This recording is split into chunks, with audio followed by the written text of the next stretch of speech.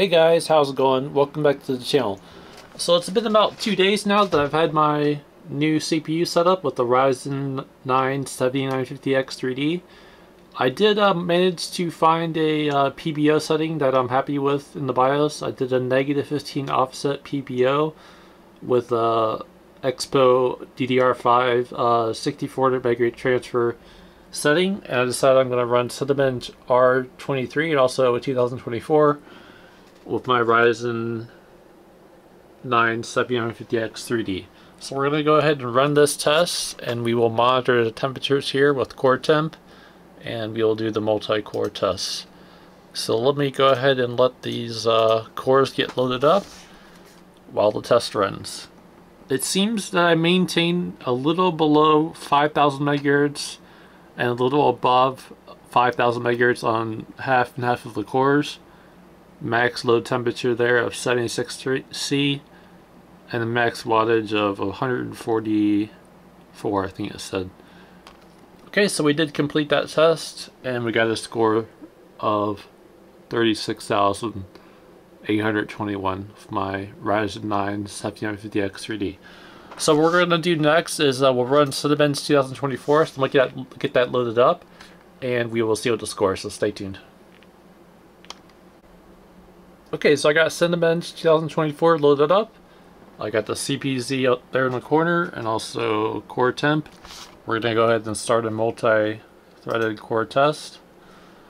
And as always, we will monitor the temperatures. This test does take longer, so while it's loading up the cores and uh, running its uh, series of tests, I will close the video temporarily to uh, let the process finish.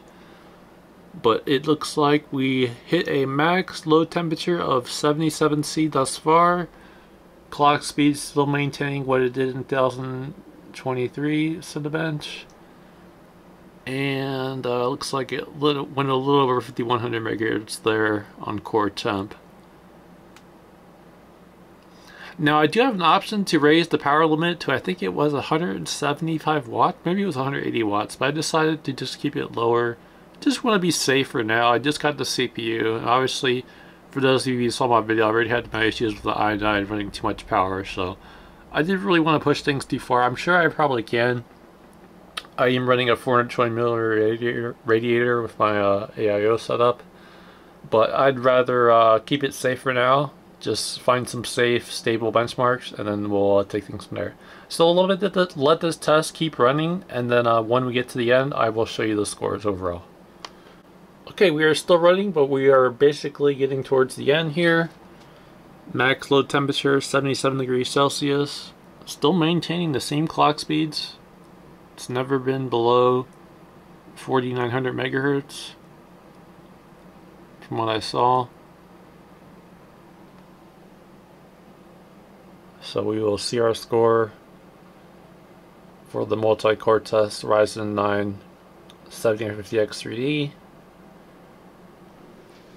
and that was 2080. Previously, I did run a test a little bit earlier, just a little bit higher, so that's where I admit uh, negative 15 PBO offset with 6400 megahertz uh, transfer rate for my DDR5 Expo memory.